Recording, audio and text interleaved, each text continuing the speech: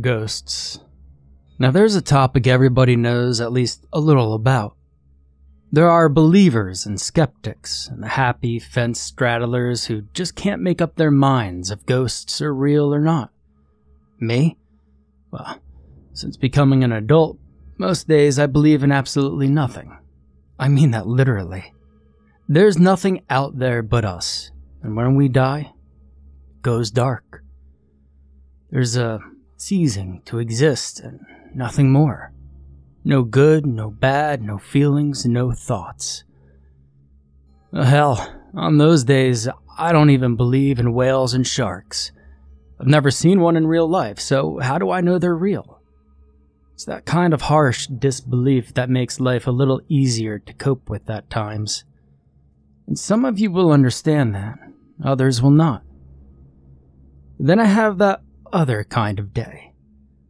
That the days when I believe in everything Santa Claus, the Easter Bunny, the Tooth Fairy, angels, demons, garden gnomes that run amuck through the night causing chaos in the neighborhood, werewolves, banshees, vampires, and of course, ghosts. Maybe most of all, ghosts. Now, younger me believed in everything all the time, but I also didn't think any of the supernatural things could hurt me. It was childish innocence that allowed me that privileged thinking. I grew up in a family that thrived on storytelling, so it was all entertainment.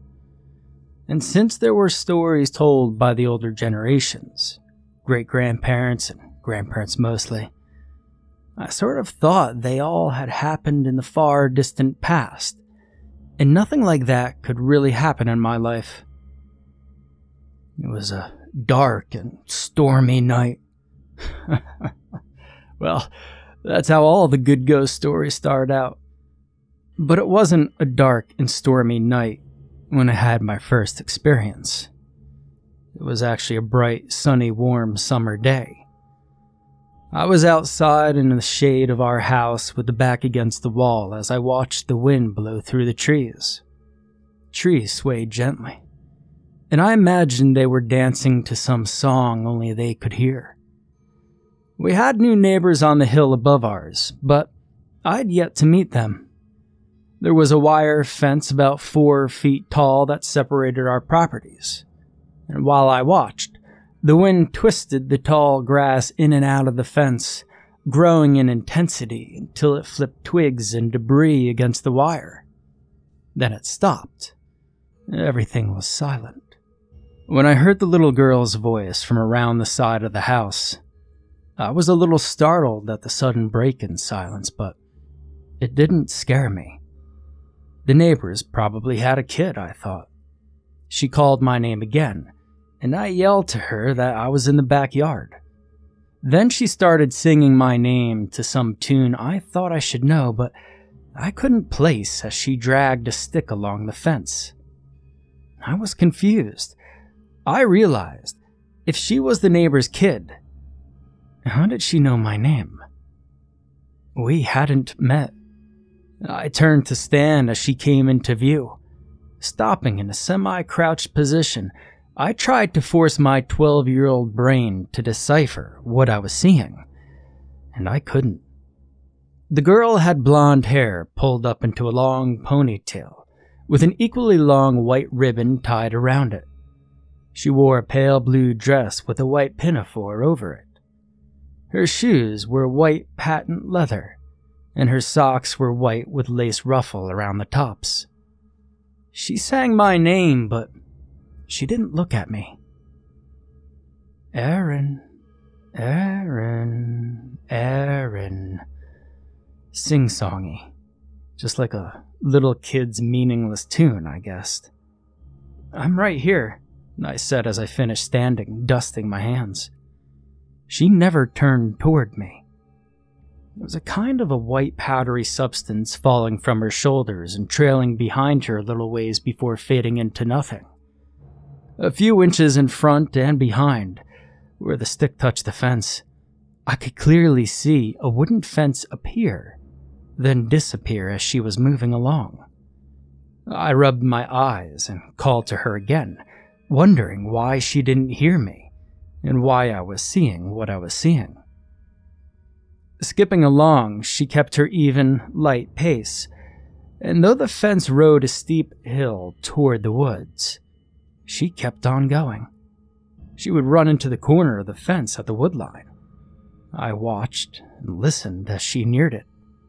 The sing songy tune stopped. She stopped. And I held my breath. She turned her head to look at me over her shoulder, giggled, covered her mouth, and then vanished as she darted for the woods, right through the fence. Later that day, I asked my mother about the new neighbors, told her what had happened. She said that they had no kids. I had no explanation, but that experience was just the beginning for me. For the next two years, I would have the distinct impression someone was standing close to me when I was completely alone.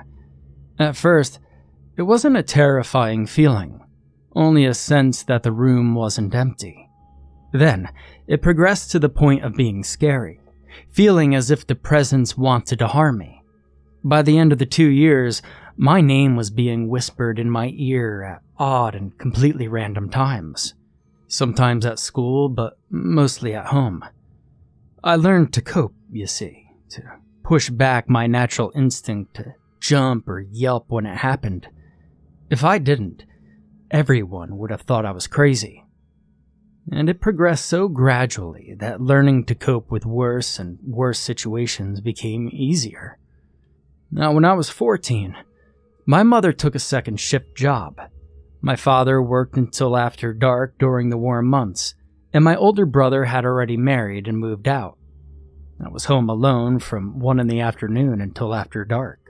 The new neighbors had moved out, and their house stood empty above me, and it was the only other home in the isolated hollow.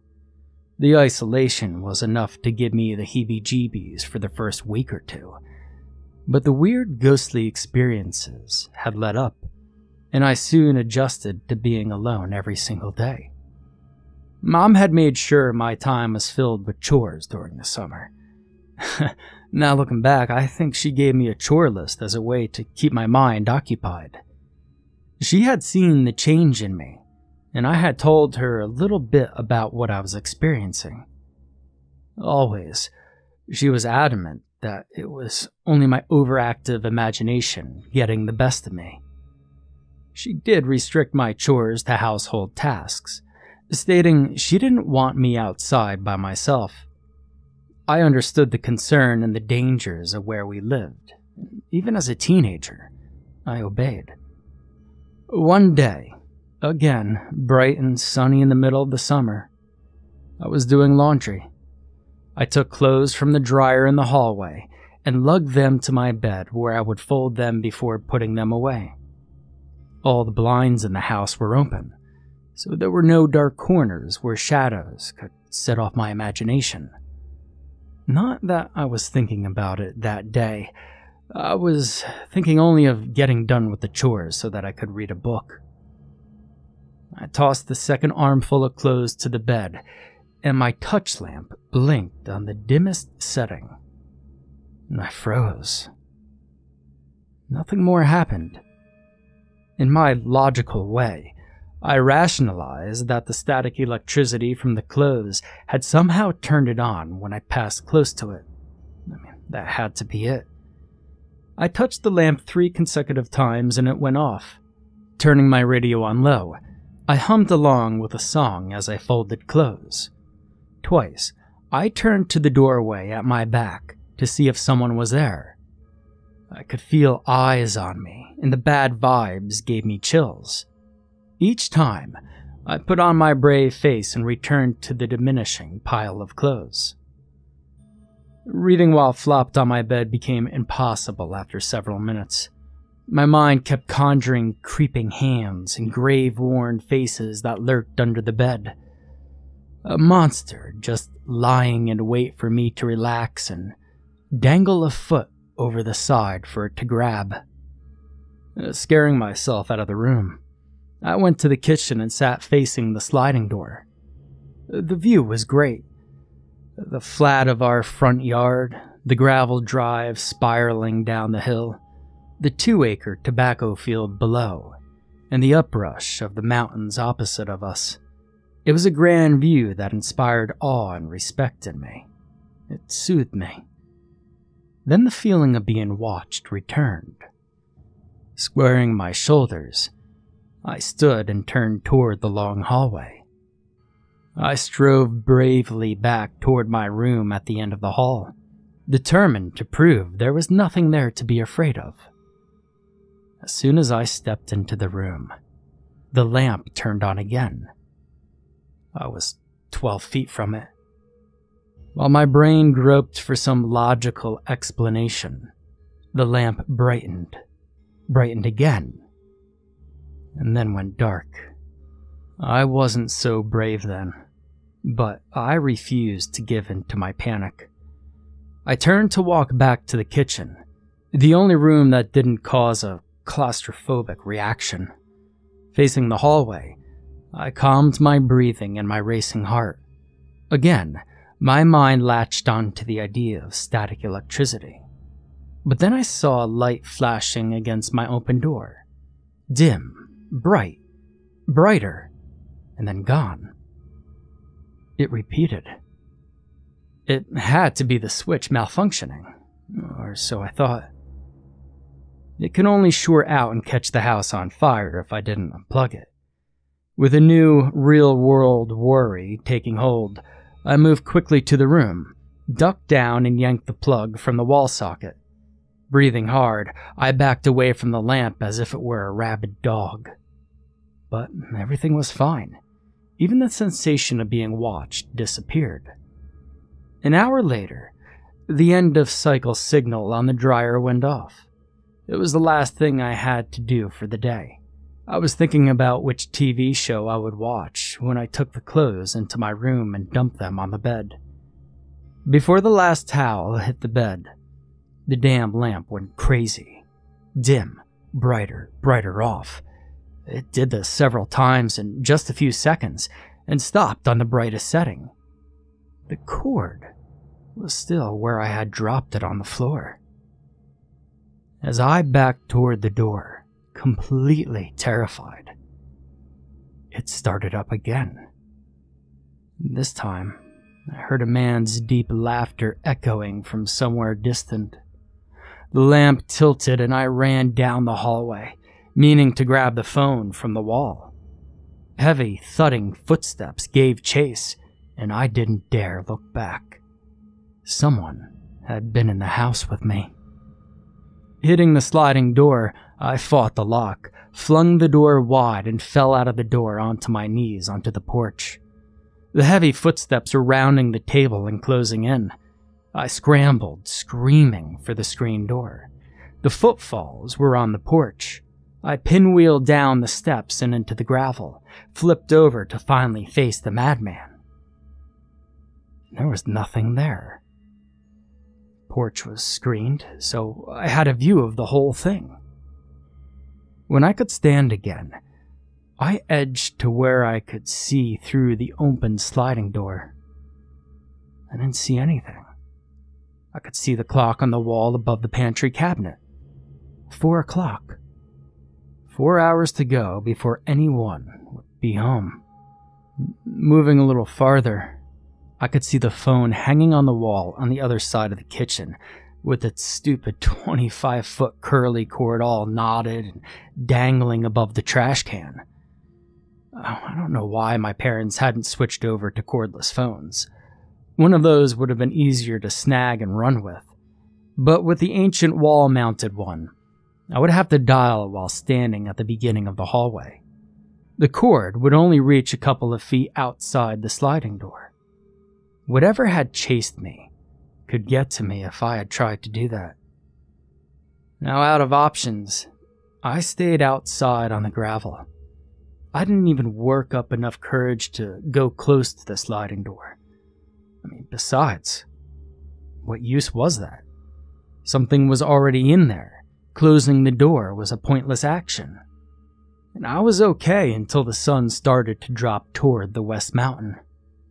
Back here, there are night critters which you don't want to encounter without a weapon.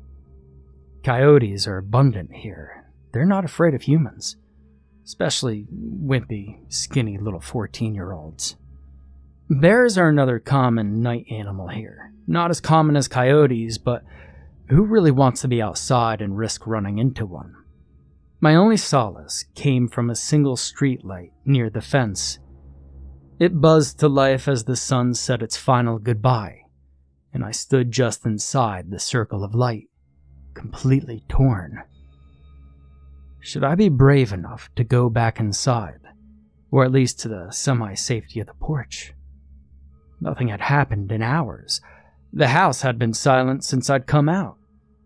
But looking into the foreboding darkness of the house, I simply could not muster the bravery to go inside.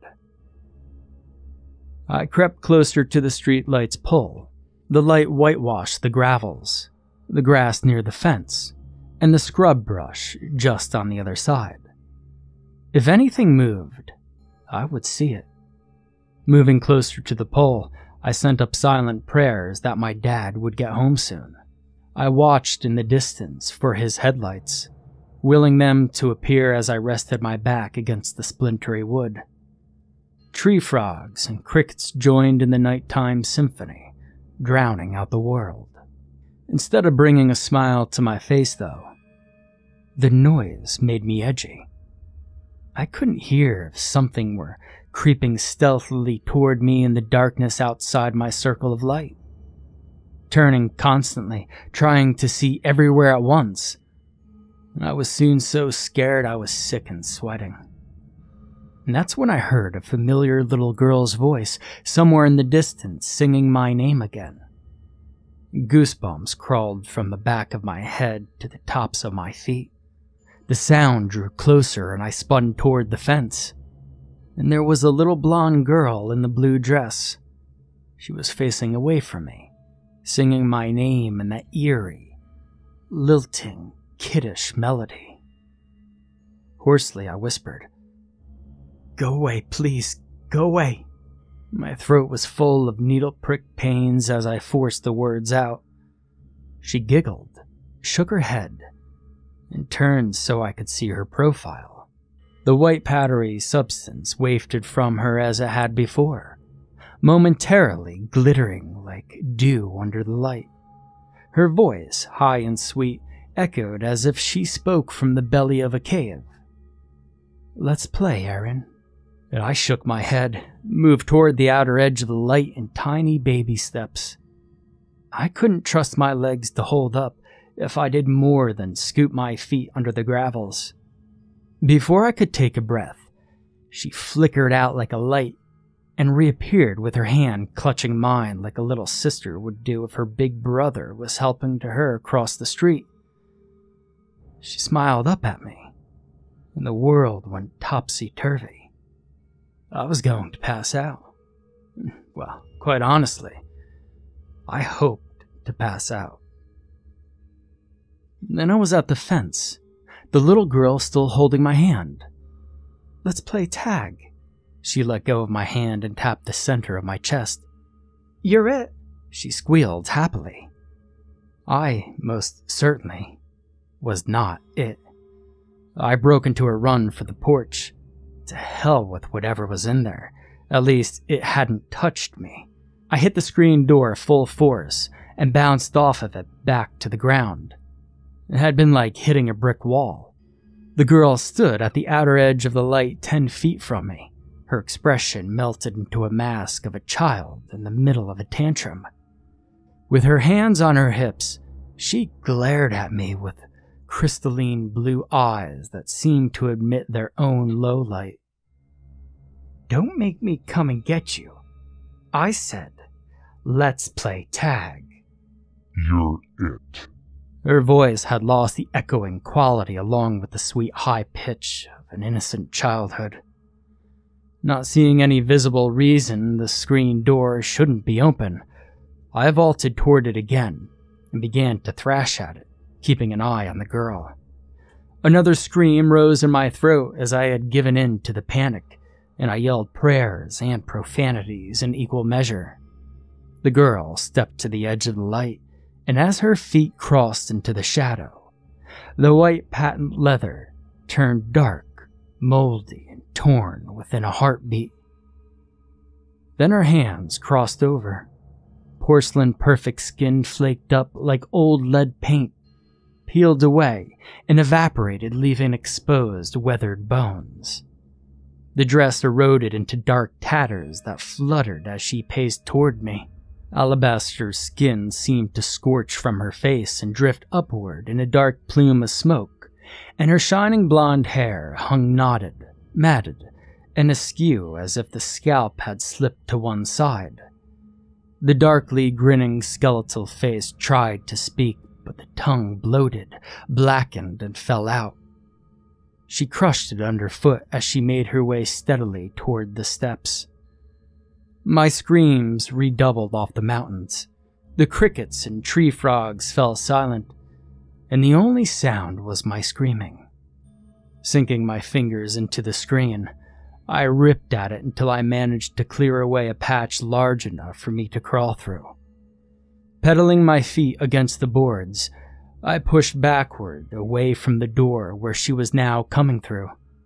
I screamed harder when headlights washed over me. I turned to see my dad's truck, and I looked back to the door. There was only a ragged hole torn in the screen. She was gone. My dad, he tried his best, but he couldn't console me. I was in a full blown meltdown mode by the time he reached me. He couldn't even get me in the house. I think my actions scared him as badly as the ghost girl had scared me. Even after I'd settled, he couldn't get me in the house farther than the kitchen. He was a complete skeptic, and I don't think he ever really believed any of my story. He was sympathetic to a point, but, well, that was it. My mother was a bit more understanding. She at least arranged for me to stay with my aunt during the days my dad picked me up in the evenings. The next year, we moved to another house. Things went back to normal. I finished school, got married, and eventually had a couple of really good kids of my own. All those years, and nothing out of the ordinary, till my first granddaughter turned four. She just told my wife last week that she loves staying with us because she likes to play with the little singing girl.